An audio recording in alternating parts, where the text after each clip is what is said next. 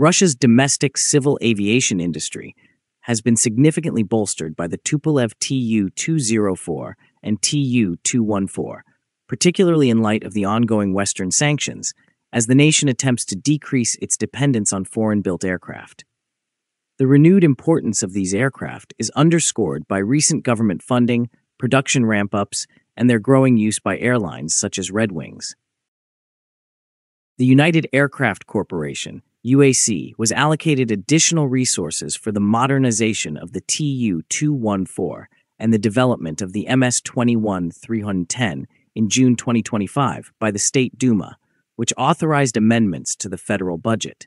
Specifically, 400 million rubles have been allocated to the upgrade of communication components on special purpose Tu 214 aircraft owned by the Russian state. Russia's dedication to the operational relevance of its main aircraft types and the advancement of its aviation technology is emphasized by these investments. Since 2022, the Tu 214 has acquired strategic significance as a cornerstone of the nation's aviation import substitution policy. Fly by wire controls and a glass cockpit are among the latest innovations of the Tu 204, which was developed in the late 1980s to replace the Tu 154. It typically has a range of 4,200 to 5,920 kilometers and can accommodate 164 to 215 passengers. Production commenced in the 1990s at the Aviastar SP facility in Ulyanovsk, and subsequent manufacturing was conducted at the Kazan Aircraft Production Association, APO.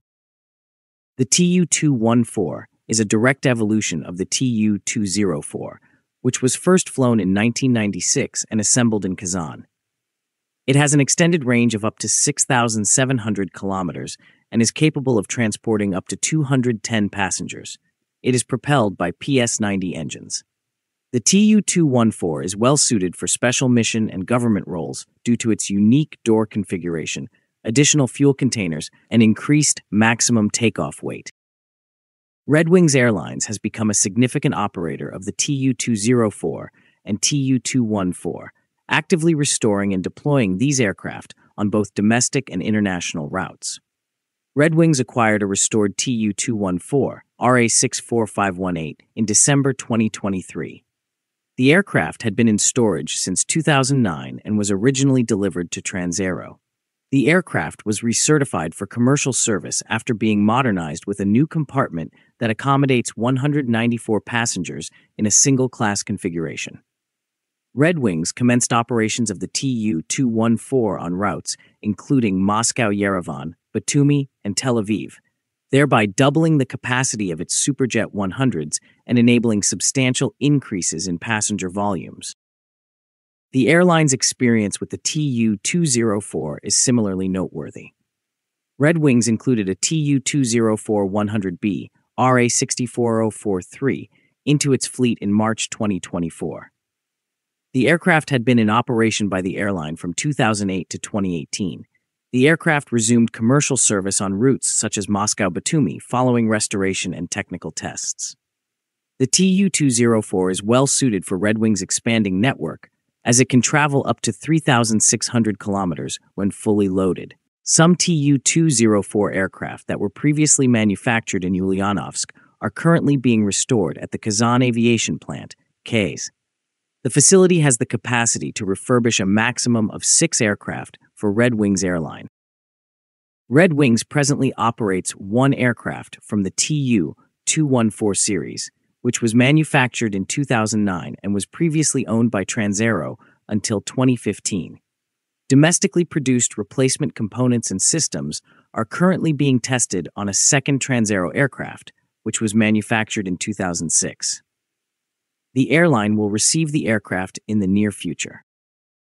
The Tu 214, which was manufactured in 2008, is currently being restored by KAZ and may also be transferred to Red Wings. An additional three Tu 214 aircraft are currently in storage. Preliminary evaluations suggest that they are in very poor condition and may not be economically viable to restore. Red Wing's strategic response to Western sanctions involves the addition of Tu 204 and Tu 214 aircraft to its fleet, which allows the airline to carry more passengers over longer distances and reduce its dependence on foreign leasing arrangements. Operational data and feedback from Red Wings are shared with UAC to enhance future aircraft, and the TU 214 is particularly commended for its reliability, efficiency, and simplicity of maintenance. Kazan is currently in the process of significantly increasing its production capacity for the Tu 214 in order to achieve a production rate of 20 aircraft per year by 2027. New manufacturing equipment and assembly infrastructure investments are used to facilitate this scale up. The restored and new build Tu 204 and Tu 214 aircraft are considered to be the optimal solutions for Russian carriers that are encountering restrictions on Western aircraft and materials. The Tu 214's capacity and range render it particularly appealing for routes that were previously served by smaller aircraft. Russia's future civil aviation fleet is anchored by the Tu 214 the MC-21 3110, and the SJ-100. Despite the criticism it has received for its relatively dated design and three-member flight crew requirement, the aircraft's robust construction, proven reliability, and capacity to integrate Russian-made systems render it a practical solution for current requirements. The objective of ongoing modernization, which encompasses the most recent enhancements to communication systems, is to enhance efficiency and resolve legacy issues. Russia's aspirations for a modern, self sufficient civil aviation fleet have been significantly influenced by the Tu 204 and Tu 214.